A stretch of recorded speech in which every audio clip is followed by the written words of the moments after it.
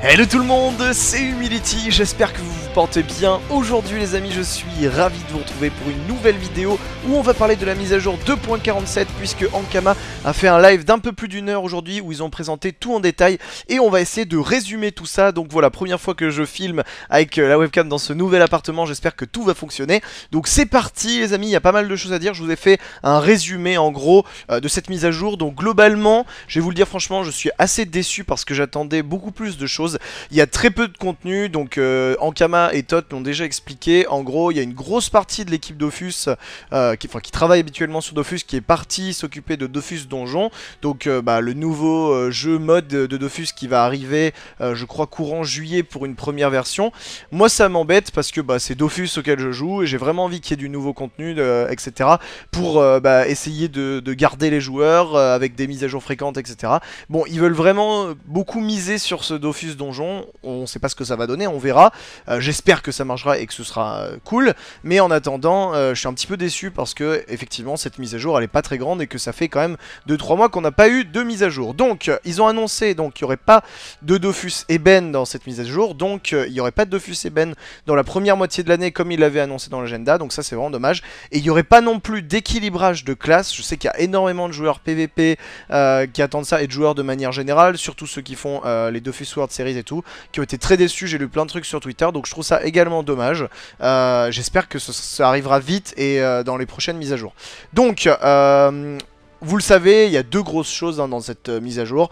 C'est la refonte donc euh, de l'élevage avec une nouvelle monture qu'on connaît maintenant, vous l'avez vu sur la miniature et on va en parler, on va présenter tout ça et donc il y a une nouvelle zone euh, qui s'appelle les nains boss. Donc au final moi j'avais dit Nimbo je crois et il y avait plein de gens qui m'avaient dit que c'était un mix entre nain et beau et en fait ça se dit nain boss. Voilà, donc maintenant on le sait.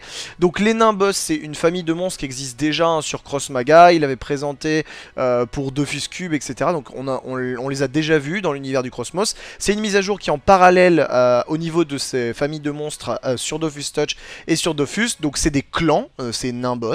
Euh, donc il y a différents clans, euh, clans pardon, avec différents euh, endroits de la map. Et donc pour Dofus, ce sera euh, sur euh, Frigos, si je dis pas de bêtises. Donc ce sera une, enfin ils ont choisi Frigos parce que c'est déjà une grosse zone où il y a plein d'éléments de décor, etc.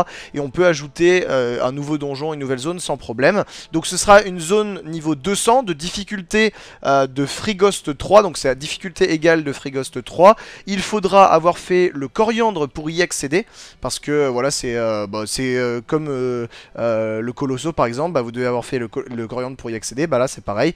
Pour accéder à cette zone il faudra avoir fait en préalable le coriandre. Donc bah, je vous montre à l'écran quelques images justement de la zone qui est assez sympa. Il rajoute aussi je crois deux nouvelles mines. En gros bon c'est des nains donc il y a un rapport avec la mine la bière la lave la forge. Donc bon c'est ils l'ont dit clairement ils se sont inspirés de Tolkien. Donc ça c'est vraiment cool. hein. Il y a, parmi les noms, il y en a beaucoup qui, sont des références à Tolkien, donc c'est un super point de mon point de vue. Et du coup, bah, comme c'est une mine, il rajoute euh, des minerais dans cette mine, dont des dolomites, si je dis pas de bêtises, et euh, il rajoute une autre mine qui sera dans les crocs de verre. Donc ça c'est plutôt cool. Donc alors comment marchent ces monstres? Donc en gros euh, ils ont un seul sort d'attaque euh, chaque monstre et ils ont un système de, de niveau d'énervement d'impatience. Vous voyez des petits 1, petits 2, petits 3 et euh, quand ils atteignent leur stade 3, un petit peu comme la rage, un petit peu comme voilà la souffrance et tout. Donc quand- ils, atteignent, quand ils atteignent le niveau 3, ils débloquent un nouveau sort où ça augmente les dégâts. Donc ça dépend des monstres. Et le boss, donc que vous allez voir qui est, qui est assez sympa, qui est sur la nouvelle monture. Donc voilà, lié. hein. Évidemment, euh, ils font la mise à jour avec la monture. En même temps, un boss qui possède la nouvelle monture. Donc vous voyez euh, ce, sort de Scara. On va, on va en parler du nom, etc. Après, vous allez voir. Et donc euh, le boss qui a pas mal de points de vie. Bon, c'est évidemment c'est comme les boss de Frigost 3, donc assez costaud. Et du coup, sa particularité à ce boss, comment il va falloir le battre? Il a des résistances partout. Il a, je crois, plus de 100% de résistance partout. Et du coup, vous devez l'énerver. Vous devez lui augmenter donc son niveau d'énervement jusqu'à 3. Et du du coup, euh, quand il arrive à, son troisième stade, pendant deux tours, il va passer, donc pas en état euh, vulnérable, mais il va passer dans un état où si vous le poussez ou le déplacez, l'attirez, etc., il va perdre à chaque déplacement euh, moins 5% de résistance généralisée sur toutes ses résistances. Donc c'est une technique assez sympa, on, on, verra ce que ça donne, si les monstres sont pas trop durs et tout. En tout cas, ils ont dit qu'il y avait certains monstres, justement, quand ils étaient au stade d'impatience niveau 3, qui étaient vraiment euh, très embêtants, qui tankaient, qui sacrifiaient, etc. Donc on pourra tester ça sur la bêta. Alors il n'y a pas de date encore officielle, mais je pense que ce sera fin de cette semaine ou euh, début de semaine prochaine, mais ça va très vite arriver. Ils ont dit qu'ils étaient en, train de travailler. On a vu d'ailleurs quelques bugs pendant le live. Donc voilà, donc il y aura également trois nouvelles panoplies. Donc ça c'est un point super important. Euh, il y a une panoplie Intel avec un manuscrit. Il y a une panoplie Force Chance Tacle qui est orientée tank avec un bonus de Vita. D'ailleurs la première panoplie donne un bonus de 1500 initiatives.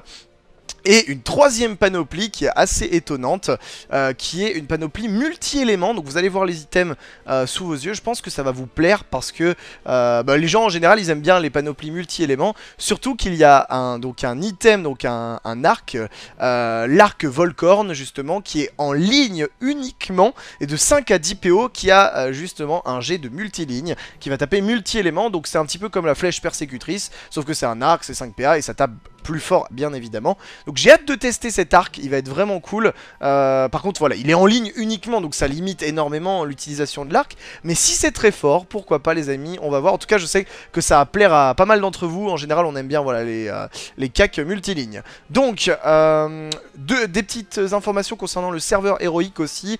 Maintenant, on pourra explorer Feudala pour agresser les gens dedans. En gros, ils seront pas protégés s'ils ont le village. Par contre, on ne pourra pas accéder quand même ni aux minerais ni aux monstres. On ne pourra pas lancer de combat.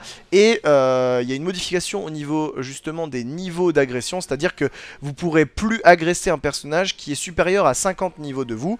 Donc par exemple, si vous êtes level 50, vous pourrez pas agresser un joueur level 101 et plus. Ce sera pas possible. Donc ça, c'est justement pour limiter bah, le système des mules et tout pour l'héroïque. Donc ça, c'est plutôt cool. Euh, concernant les parchemins et les doplons, etc.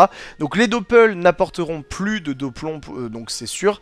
Euh, enfin, ils resteront dans le jeu, on pourra toujours s'en servir avec les succès, mais euh, pour l'instant, voilà, ce, sera la seule utilité. Faire de l'XP et gagner des points de succès, mais ils n'auront plus d'intérêt. Alors je sais qu'il y en a beaucoup d'entre vous qui sont déçus par ça. ils trouvent que c'est trop répétitif, que ça prend trop de temps, etc. Donc ça leur plaît pas trop.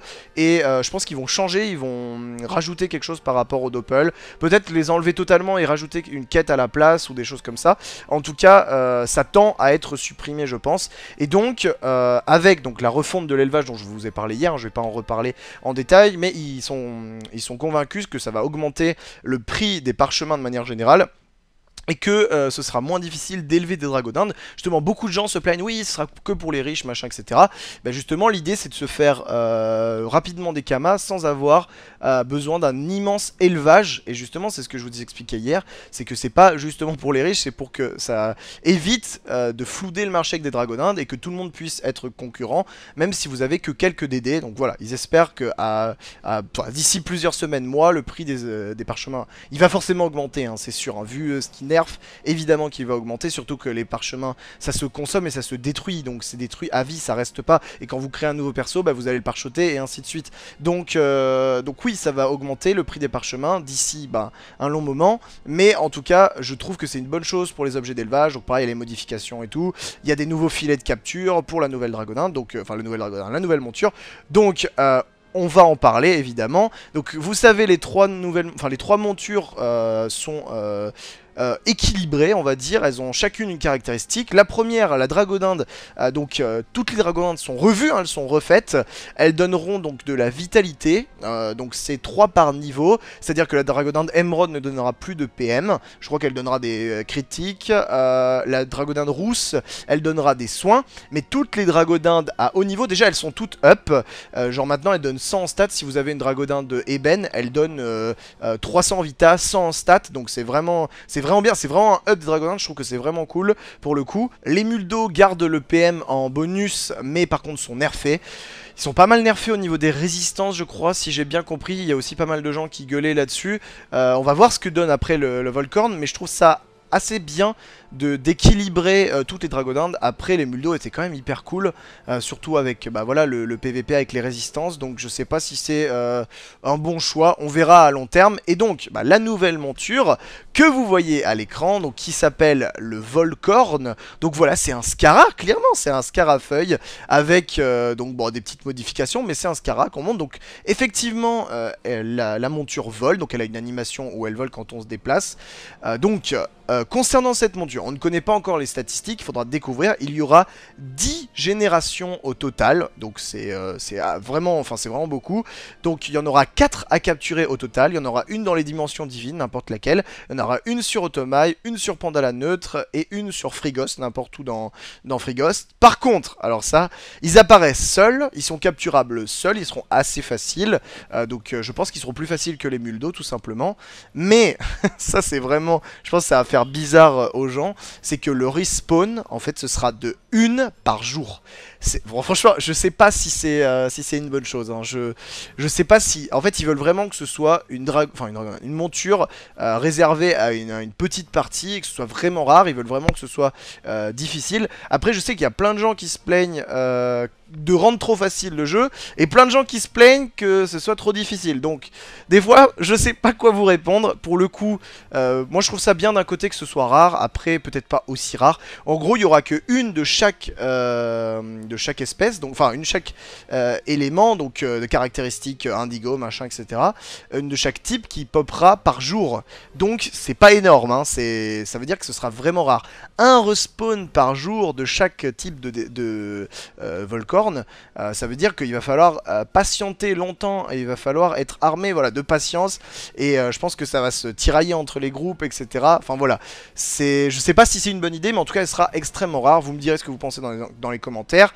Et donc, euh, il y a un nouvel ajout qui est vraiment cool, c'est que si vous avez déjà une monture équipée, vous pouvez quand même capturer euh, le Volcorn. Donc ça, c'est vraiment pas un souci. Euh, je trouve ça vachement bien, c'est-à-dire que vous, pouvez capturer la Volcorn, enfin le Volcorn, avec déjà une Dragoninde ou une monture, une, un Muldo sur vous. Et du coup, en fait, ça vous donne le parchemin. il faut quand même, évidemment, le filet de capture au CAC. Et ça vous donnera le certificat, tout simplement. Donc ça, c'est vraiment cool. Il y aura également des harnachements, mais bon voilà, ils en ont présenté. Mais euh, voilà, alors il y aura des succès qui seront liés, euh, pas à la capture, mais à l'élevage. Euh, il y a eu des affichages de, succès Coliseum, mais il n'y en aura pas, hein, il n'y a pas de succès Coliseum, c'est que sur leur version interne où il y a ça, mais ça ne sera pas dans la, nouvelle version 2.47. Donc voilà, les petites informations qui ont été dites. donc vous voyez qu'il n'y a pas énormément de choses, on s'attendait voilà, à de l'équilibrage, on s'attendait à peut-être, bon, les équipements c'est déjà cool. Euh, mais voilà, on s'attendait quand même à plus de choses, plus de contenu. Moi je m'attendais peut-être à des petites refontes par-ci par-là, des, sorts qui, seraient revus d'équilibrage et tout, mais vraiment nada, rien là-dessus. Donc euh, déçu du peu de choses, et je comprends pas que qu'il n'y ait pas quand même une grosse équipe qui travaille sur Dofus et une grosse équipe qui travaille sur Donjon. Je comprends pas qu'ils divisent les deux alors que Dofus est quand même le jeu le plus important dans Kama. Et, euh, en tout cas j'espère que, bah, que ça va changer. Et euh, voilà, j'espère que, que vous avez passé un bon moment devant cette petite vidéo. J'attends vraiment vos retours. Euh, donc bah, dès que la bêta sort de toute façon je serai en live. donc je sais pas si vous avez suivi mais sur les réseaux sociaux j'expliquais que je devais avoir la fibre aujourd'hui mais il y a un problème au niveau de l'installation. Donc j'ai au moins une semaine, voire plus, à attendre. Donc euh, ils m'ont filé un boîtier 4G et donc je peux streamer avec ça. Et bon, c'est pas incroyable non plus. Comparé à la fibre, ça n'a rien à voir. Donc voilà, je vous fais des gros bisous. N'oubliez pas de liker et on se dit à très vite pour de nouvelles aventures. Je vous aime. Bye bye tout le monde.